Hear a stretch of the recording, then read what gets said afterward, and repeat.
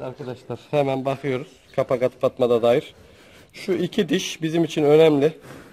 Görüyorsunuz. Şu an bu dişler sallanıyor. Yani kalıcı dişler çıkmamış. Henüz. Kapak atmamış. Bu hayvan bu hayvan kurban olmaz arkadaşlar. Bu dişlerin düşüp burada kalıcı kalıcı dişlerin çıkması lazım. Bu hayvan kurban olmaz. Muhtemelen bu hayvan o 15, 16, 17 aylık civarında. Evet arkadaşlar şu an ikinci hayvanımızın muayenesi yapacağız. Bu hayvanın e, boyunun böyle küçük olduğuna bakmayın. Yerli bir ırk. Yerli ırklar boyu kısa, yaşı büyük olabilir. Tekrar bu hayvanın muayenesi yapacağız. Gel. Evet arkadaşlar hemen kontrolünü sağlıyoruz. Şu an e, sallanıyor dişler arkadaşlar. Şu an kapak atmamış ama şöyle bir iki aya kapak atacak pozisyona gelmiş. Kalıcı dişler çıkmamış. Bu hayvanımız da bu hayvanımız da kurban olmayacak yaşta pozisyonda bu hayvan kurban olmaz arkadaşlar. Bir arkadaşımız pratik bir çözüm bulmuş. Kovboylar normalde e, kemer takıyor arkadaşlar ama bu yeri arkadaşımız görüyorsunuz ipi e, dipleştirip bir hortum vasıtasıyla yakalamanın kolay yolunu bulmuş. Arkadaşlar şu an bu hayvanın kurbanlık olup olmadığına dair size bilgi vereceğim. Bir hayvanın e, öküzün kurbanlık yaşa gelip gelmediği nasıl anlaşılır? Tabii ki dişlerine bakarak anlaşılıyor. Bunların e, geçici dişleri var arkadaşlar. Süt dişleri diyoruz. Bu dişlerden e, iki tanesi özellikle kapak dişi dediğimiz bu dişin düşüp e, sağlam dişin, kalıcı dişin çıkması lazım. Buna yönelik muayeneyle e, bu hayvanın kurban olup olmadığına dair bilgi edinebiliriz arkadaşlar. Evet şimdi ağız yoluyla bir muayene yapacağız. Diş diş muayenesi.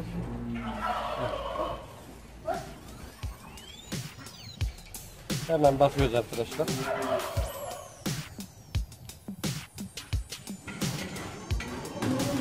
Hayvanlar genelde burnunu tutturmaz arkadaşlar. Burun yoluyla yaptırıp sağladıktan sonra alt çenede iki, iki tane diş bizim için önemli. Evet arkadaşlar burada birkaç diş düşmek üzere ama bizim için önemli olan şu diş. Gördüğünüz gibi bu süt dişleri henüz atmamış yani hayvan kapak atmamış. Bu hayvanımız kurbanlık olmaz arkadaşlar. Ee, bu dişleri ne zaman atıyor? 18 ay ile 36 aylık arasında bu dişleri atıyor arkadaşlar. Bizim için kurbanlık olup olmadığına dair en güzel edineceğimiz bilgi kapak atıp atmadığı. Şu an hayvanımız kapak atmamış. Muhtemelen bu hayvanın yaşı 16-17 aylık civarında. Bizim için 2 e, yaşını doldurup bu kapak dişinin atması kurbanlık olması açısından önemli. E, bazı uyanık vatandaşlar arkadaşlar bu dişleri söküp insanları yanıltabiliyor. Buna da dikkat etmek lazım. Güvenli yerden kurbanlarınızı almanız lazım. Arkadaşlar şu an e, diğer kurbanlık olup olmadığına dair dişlerine bakarak kapak atmış mı atmamış mı buna göre karar vereceğiz. Arkadaşlar bir hayvanın kurban olması için e, dikkat edilmesi gereken bazı hususlar var. Bunlar nelerdir? Hayvanın uzvundan herhangi birinin eksik olmaması, yine boynuzunun birinin eksik olmaması, yine bir ayağının eksik olması, topal olması hayvan, kulağının olmaması. Bunlar da hayvanın kurban olup olmadığına dair önemli e, konular arkadaşlar. Bunlara dikkat etmek lazım. Yine hayvanın besli olması lazım, hasta olmaması lazım arkadaşlar. Bu önemli. Şu an e, tekrar hayvanın iş kontrolünü yaparak karar vereceğiz.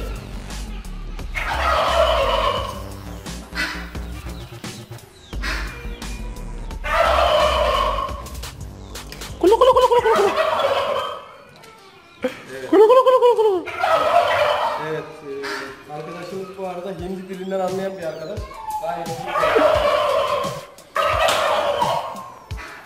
Evet arkadaşlar şu an bir daha kontrol yapıyoruz. Diş kontrolü görüyorsunuz. Kalıcı dişler çıkmış mı diş sallanıyor arkadaşlar. Kalıcı dişler çıkmamış. Maalesef kurbanlık sınıfına girmiyor.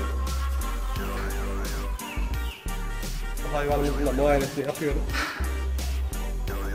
Evet gördüğünüz gibi gel yanaştır. Arkadaşlar bir dişi düşmüş. Diğer dişi de çıkmış.